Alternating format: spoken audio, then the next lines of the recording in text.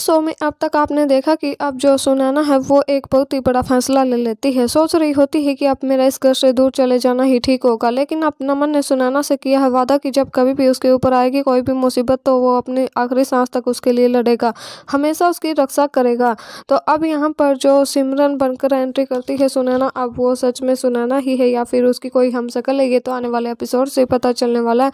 क्योंकि सुनैना नमन को और घर को छोड़कर चली गई थी और कुछ समय के बाद बिल्कुल एक नए अंदाज में एंट्री होती है, जो अपने आप को सिमरन बता रही होती है और उसकी आँखों में बहुत ही ज़्यादा गुस्सा होता है। और वो किसी से भी नहीं डरती है, बिल्कुल बेखौफ होती है। दूसरी तरफ़ जो सुनाना थी, डरी, सहमी सी रहती थी, लोगों से बहुत ज़्यादा डरती थी, लेकिन सिमरन वाला ये जो नया रूप, नया अंदाज है, इसमें वो किसी से नहीं डरती है। तो यहाँ पर आ चुकी है सुनाना फिर से अपने प्यार को पाने के लिए एक नए अंदाज में। तो यहाँ पर जो नमन है, वो सुनैना को अपने साथ घर भी लेकर जाएगा, लेकिन वहाँ पर वो बहुत ज़्यादा पंजाबी बोल रही होती है तो किसी को यकीन नहीं होता है कि ये सुनैना यहाँ तक कि पंकजा भी सुनैना पर यकीन नहीं कर पाती है।